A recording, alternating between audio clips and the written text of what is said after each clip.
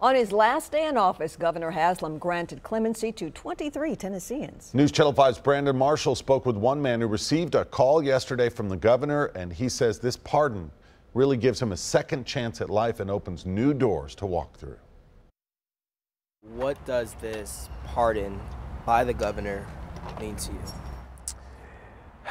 It mean it, it's like new money, if that makes sense. 35 year old Robert Sherrill walks with less of a burden after Governor Bill Haslam called him this week to grant him clemency.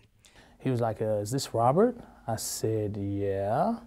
He said, Hey, I'm such and such. I'm from the governor's office. I'm like, Hey, how you doing? It's because I didn't know which way it was going to go, but I thank him for, for getting straight to the point.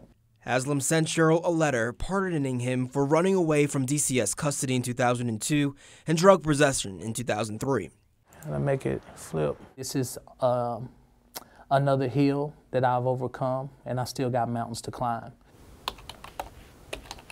While climbing mountains, he runs a successful half a million dollar cleaning business and motivates teens in and out of the juvenile detention center. And so I try to I try to boost them up with positivity and I try to show them what walking with your head up and being positive looks like. Sherrill says he waited three months to get that life changing call. He says if he could talk to his younger self, he'd have this to say. When you make a mistake, the best thing you can do, instead of crying about the mistake, is learn from the mistake and move on. Um, and that greatness awaits you if you want it.